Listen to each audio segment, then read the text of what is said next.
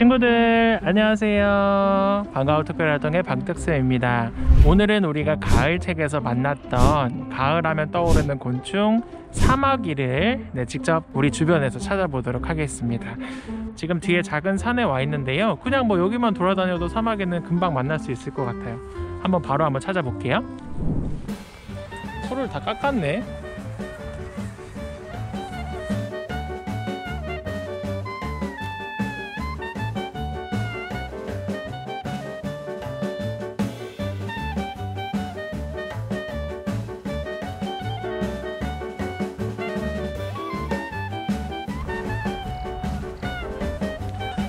사마귀들아 사마귀들아 어딨니?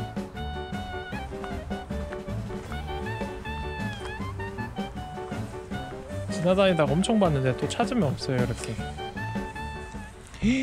그나저나 이렇게 단풍이 예쁘게 나뭇잎들이 붉게 또 노랗게 물들고 있고요 찾으면 이렇게 없어요. 네, 눈을 크게 뜨고 다시 한번 찾아볼게요. 오! 찾았다. 오늘 이렇게 채집 도구도 가져왔는데 뭐 이런 거 필요 없이 바로 손에 올려보도록 하겠습니다. 자 올라오세요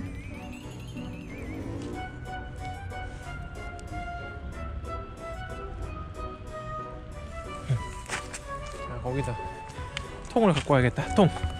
달려 달려 달려 달려. 달려 달려 달려.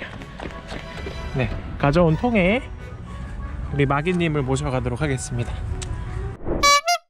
역시 어디 안 가고 잘 계셨군요. 제가 밥도 드리고 잘해 드릴게요.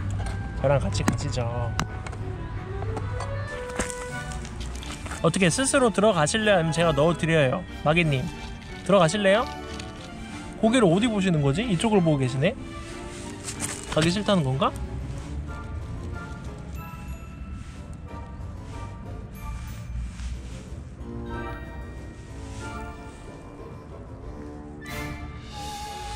올라갔다. 오오오.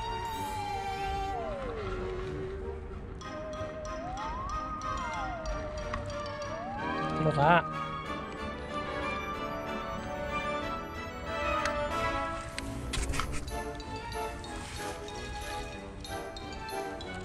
사마귀 잡았습니다.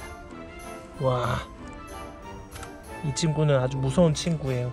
다른 곤충 친구들을 막 잡아먹거든요. 다리에 보니까 날카로운 뾰족뾰족한 것들이 있어요. 들어가세요. 문 닫게.